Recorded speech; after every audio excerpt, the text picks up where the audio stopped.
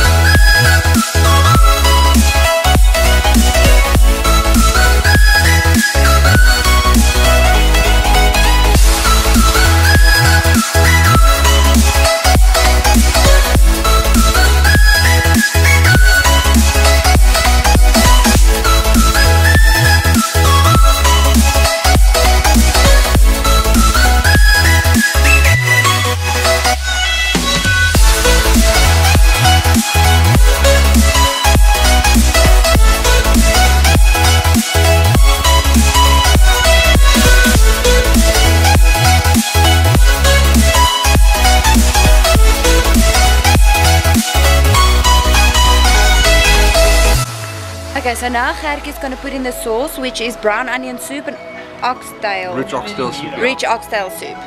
Mmm, smells like uh, Yummy. Okay, and then a little bit extra water as well.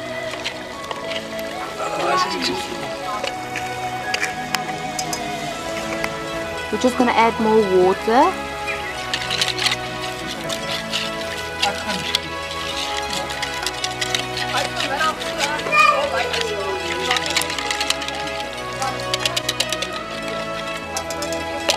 Think it might be enough water.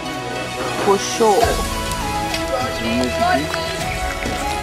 So now we're just literally giving the soup chance to thicken up and then dinner can be served. It was a little bit hot. Loop is wel skoonkie daar hoor. So let's just open this up, let's see what it looks like. Shabang. That looks amazing. Wow. And there's a little homemade bread also that goes Oh, with ah, this. Amazing. Nou jy daai lepel terug sit in die soep nie. Almal jokie my hier. Amazing. This is the chicken Chops. chicken chops. What does it taste like? Chicken. Amazing. and then we have some corn, not the band. Gerkie, thanks for the food, Spruce. You're welcome.